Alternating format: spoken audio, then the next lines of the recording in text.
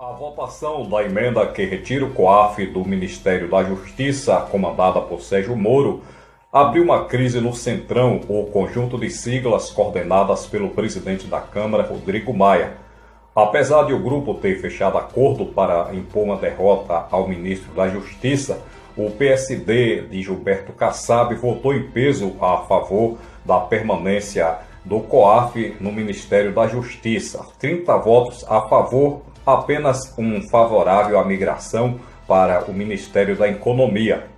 A estreita margem 228 a 210, os líderes do Centrão esperavam uma vitória aí mais expressiva e dizem que o PSD rompeu o acordo em cima da hora.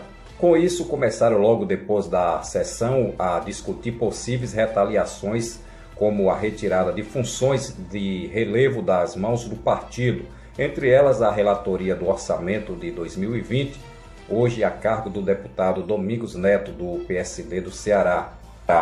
O Centrão é formado por legendas como PP, PL, PTB, DEM, PSD e PRB. Juntas tem mais de 200 dos 503 deputados aí. Apesar de não serem um bloco formal, tem agido de forma conjunta sob o comando de Maia, sendo responsável aí por impor derrotas ao governo. Eu creio que um dos clamores da rua neste domingo, dia 26, vai ser contra o Centrão.